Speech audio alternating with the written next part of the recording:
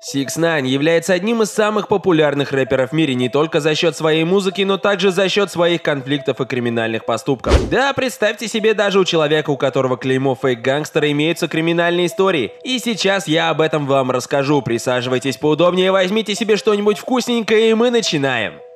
Первый раз, когда он нарушил закон в 2015 году где Эрнандес пошел на тусу и познакомился с девушкой, с которой он провел ночь. В итоге, как оказалось, это была не девушка, а девочка, которой было всего 13 лет, в то время как 6 ix было 18. Хоум-видео было опубликовано в Инстаграм, и он, что самое интересное, репостнул это на свою страницу. Спустя 10 дней мать дочери написала заявление в полицию, где арестовали сначала его друга, который также был причастен к инциденту, а потом спустя две недели 6 ix Он признал свою вину, прошел психическое лечение и написал письмо с извинениями, что при причинил им боль.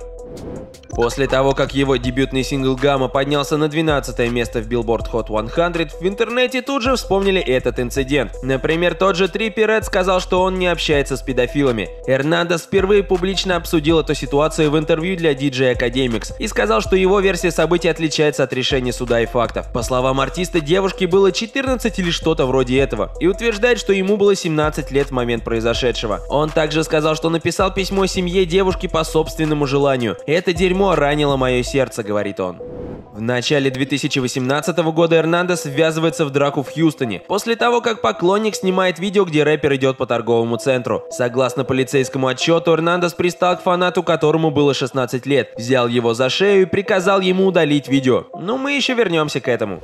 Через Несколько членов хьюстонского лейбла Rap Lot Records, включая генерального директора Джея Принца, были ограблены под дулом пистолета в вестибюле своего офиса на Таймс-сквер. Эрнандес позже даст показания, что ограбление было спланировано девятью членами Трей, стремящимися отомстить после того, как организаторы Rap Lot отказали Эрнандесу выступить на шоу, которое они заказали в Техасе за месяц до этого.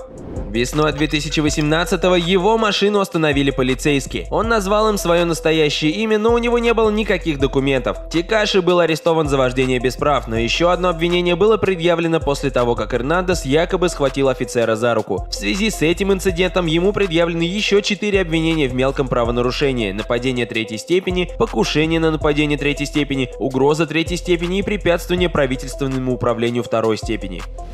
И летом начинается самое интересное, а именно вражда с Чиф Кифом. Все началось из-за девушки одного рэпера, которая раньше встречалась с Тикаши. И она сказала, что ее нынешний бойфренд избивает. В итоге Чиф Киф впрягся за своего кента и поехал в Бруклин после слов Six Nine «Фак Чиф Киф». Ну и спустя считанные часы по приезду на Чифа совершают покушение, но, к счастью, он сумел выжить. Полиция стала выяснять, кто же инициатор данного инцидента. И Six Nine был главным подозреваемым, который потом признался, что он заказал убийство за 20 тысяч тысяч долларов. Спустя месяц после возвращения с европейского тура он был арестован за нападение на парня в торговом центре. В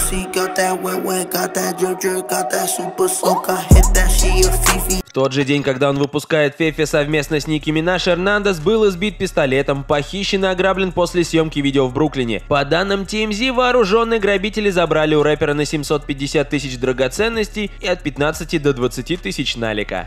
Окружная прокуратура Манхэттена подала письмо председательствующему судье, в котором говорится, что Эрнандес нарушил условия своей сделки о признании вины в 2015 году которая требовала от него не совершать никаких преступлений в течение двух лет. Они рекомендуют приговорить Эрнандеса к тюремному заключению сроком от 1 до 3 лет и обязать его зарегистрироваться в качестве сексуального преступника.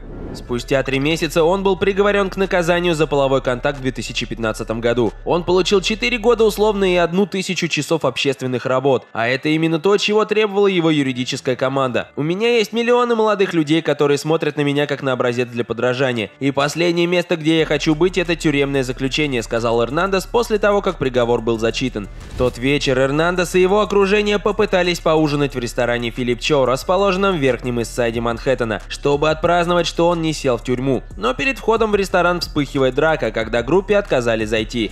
Эрнандо снимает музыкальное видео с Канни Уэстом и Ники Минаж в особняке в Беверли-Хиллз, но съемки прекращаются, когда раздаются выстрелы в сторону здания, но никто не пострадал. Лейбл рэпера Universal Music Group, как сообщается, потерял аж 480 тысяч долларов на прерванной съемке.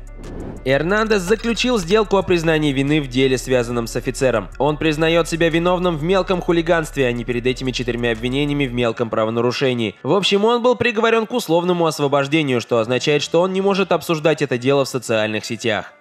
На следующий день Six Nine принял решение убрать всех своих менеджеров, команду и прочих людей. Теперь, кто хочет увидеть его на своем концерте, должны связываться с ним напрямую. 16 ноября 2018 года Эрнандес во второй раз появился на радио The Breakfast Club, где сказал «Есть только одна вещь, которой я боюсь». Нет, две. Бога и ФБР.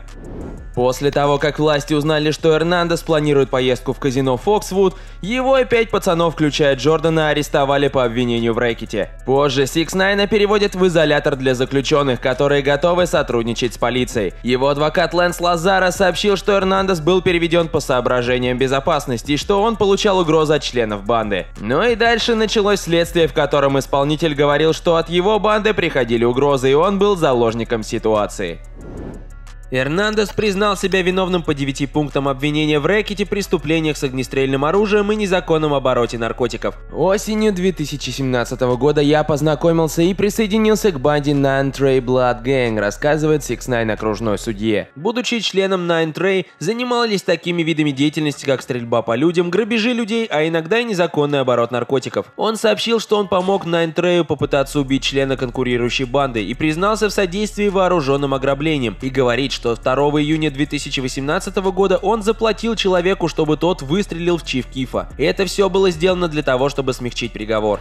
В общем, Трейвей, который ограбил Радужного примерно на 3 миллиона долларов, а также планировал его убить, получил 25 лет тюрьмы. Вот с такими чуваками связался Six Nine. Сам артист сожалеет, что вписался в это, но с другой стороны, стал бы он таким популярным, если бы не банда. Кто знает. Сейчас Тикаши находится под домашним арестом, но уже может записывать музыку, поэтому ждем альбом. Если вам понравилась данная рубрика, пишите в комментарии, про какого рэпера сделать следующий ролик. Я вот думаю сделать следующий от 21 Savage. Подписывайтесь на канал, поддержите видео лайком и комментарием. Всем пока!